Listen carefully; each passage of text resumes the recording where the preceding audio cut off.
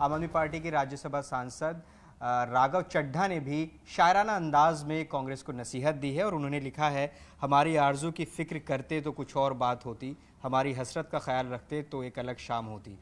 आज वो भी पछता रहा होगा मेरा साथ छोड़कर, अगर साथ साथ चलते तो कुछ और बात होगी।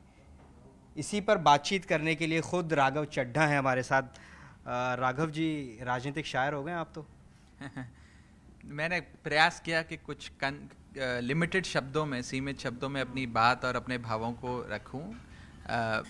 एक लॉयल मेंबर इंडिया गठबंधन का होने के नाते आम आदमी पार्टी ने हर संभव प्रयास किया कि गठबंधन हो और साथ साथ मिलकर हम हरियाणा के लोगों की मांग अनुसार मिल के चुनाव लड़ें। दुर्भाग्यपूर्ण वो नहीं हो पाया और जो नतीजा है वो हम सबके सामने है। मुझे लगता है कि हरियाणा चुनाव हम सब के लिए एक बहुत बड़ी सीख है। कांग्रेस पार्टी के लिए भी आम आदमी पार्टी के लिए भी अन्य राजनीतिक दलों के लिए भी। और ख़ास तौर पे कांग्रेस पार्टी के लिए ये भी सीख है कि हमें ओवर कॉन्फिडेंट नहीं होना हमें अति आत्मविश्वास के भाव में आकर आ, अपने फैसले नहीं लेने चाहिए। दो चुनाव हुए एक जम्मू कश्मीर में एक हरियाणा में। दोनों विधानसभा चुनावों में आ, नतीजे जो आए वो भिन्न हैं। जम्मू कश्मीर के चुनाव में इंडिया गठबंधन एकजुट होकर लड़ा।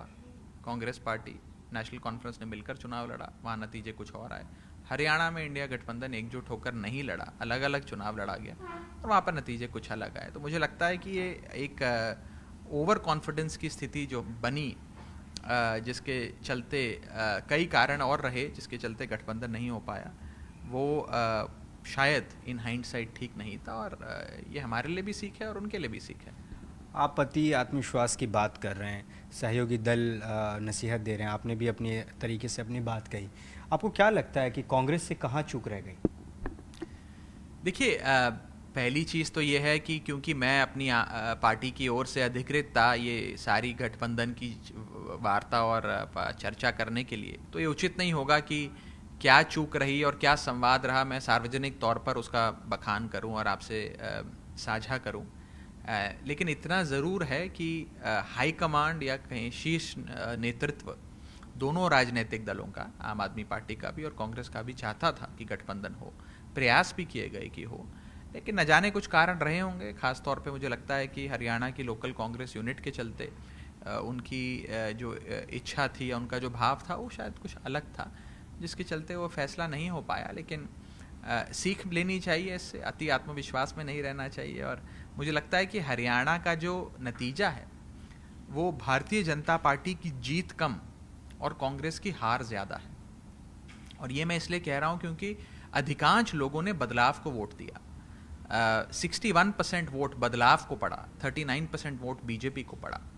तो लग, ये तो साफ़ है कि लोग बदलाव चाहते थे, लेकिन आंकड़ों की जादूगरी कही है first past the post system कही है उसके चलते बीजेपी को ज़्यादा सीटें आई और बहुमत का आंकड़ा उन्होंने पार किया।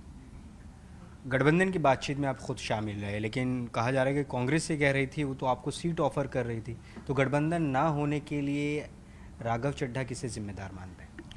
देखिए हालातों को जिम्मेदार मानते हैं और मैं किसी एक व्यक्ति पर या किसी एक राजनीतिक दल पर दोष नहीं मटना चाहता। है ये उचित नहीं होगा क्योंकि मैं खुद उस संवाद में एक पार्टिसिपेंट था। ये गठबंधन धर्म का पागल, पालन करता हूँ मैं और मैं उसे लांघना नहीं चाहता। प्रयास हुए, खूब प्रयास हुए, लेकिन कहीं ना कहीं बात नहीं बन पाई। और क्यों नहीं बन पाई, कहाँ बात अटक गई, वो उसकी चर्चाएँ सार्वजनिक तौर पे नहीं होती। मैंने आपको इशारा किया है कि शायद कांग्रेस की लोकल यूनिट जो है हरियाणा की, वो इतने पक्ष में नहीं थी गठबंधन, की उन्हें लग रहा था कि वे स्वयं ही इस चुनाव को निकाल रहे हैं। तो जैसा कि मैंने कहा, अति आत्मविश्वास किसी भी राजनीतिक दल के लिए घातक साबित हो सकता है। ना उनके लिए अच्छा है, ना हमारे लिए अच्छा है।